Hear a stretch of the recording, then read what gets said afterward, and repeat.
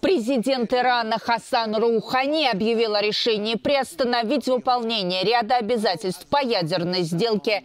Речь идет о двух пунктах СВПД, касающихся остановки на 60 суток продаж имеющегося у Тегерана обогащенного урана и тяжелой воды. Вместе с тем Раухани подчеркнул, что это еще не конец договора.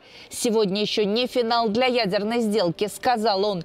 Заявление иранский лидер сделал в эфире телеканала Пресс-ТВ. Тегеран объяснил, что такова реакция Исламской Республики на, цитата, «неспособность других участников соглашения, в частности Евросоюза, противостоять давлению США».